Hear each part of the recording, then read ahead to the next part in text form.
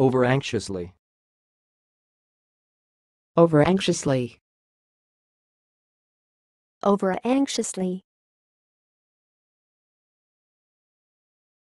Thanks for watching. Please subscribe to our videos on YouTube.